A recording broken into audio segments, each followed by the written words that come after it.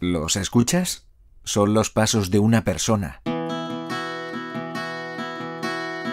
En mis botas llevo sueños, la capacidad de aprender y la libertad para moverme.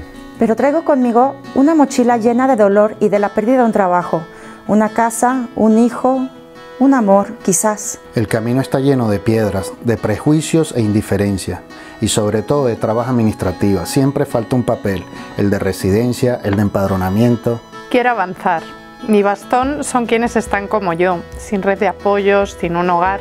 También quienes me acompañan y mi ilusión, las ganas de hacer mi vida. Con todo, este es mi camino.